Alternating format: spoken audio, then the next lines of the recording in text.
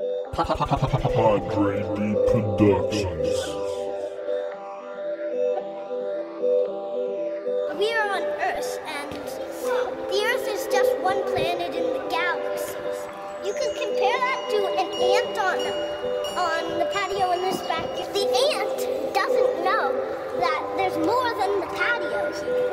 He just keeps walking. He doesn't know. He there's he's just part of a hu-